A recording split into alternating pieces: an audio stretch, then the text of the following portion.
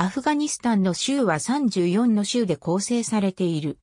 2004年10月頃の国際連合の分類に新しくできた州を加えると以下のようになる。日本の外務省はバーミヤン州の他にゴール州とダーイクンディ州を中央高地に分類している。面積が広い州は国の西側に多い。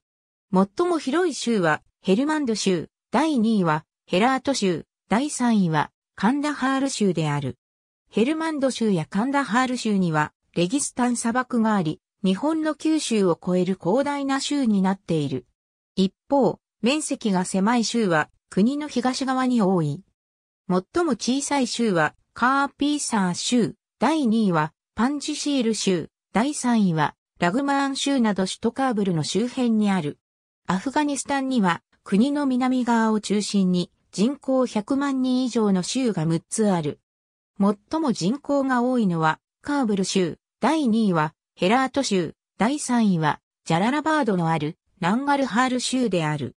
この他にマザーリシャリーフがあるバルフ州やガズニー州、カンダハール州が続く。一方、南側の両端は人口が少ない州があり、カーブルの東のヒンドゥクシュ山脈の中にあるヌーリスターン州やパンジシール州、マーゴ砂漠がある南西部のニームルーズ州が続く。人口密度が高い州もカーブル周辺などの国の東側に多い。密度が最も高いのはカーブル州、第2位はカーピーサー州、第3位はナンガルハール州である。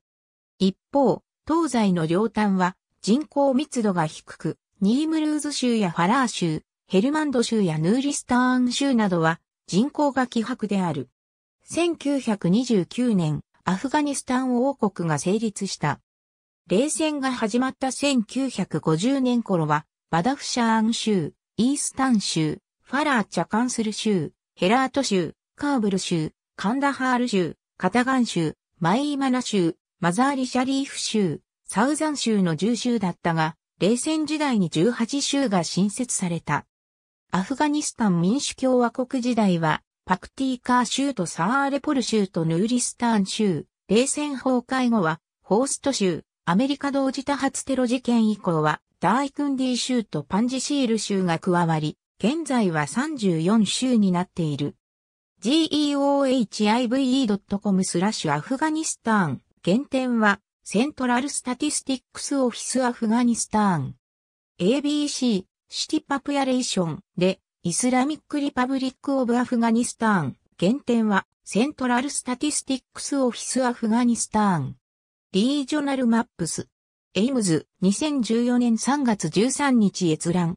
政策評価法に基づく、事前評価書。外務省。2014年3月13日閲覧。ABCDEFG、Area Administrative Population。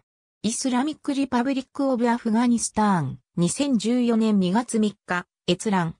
ABCD、 Provinces of Afghanistan。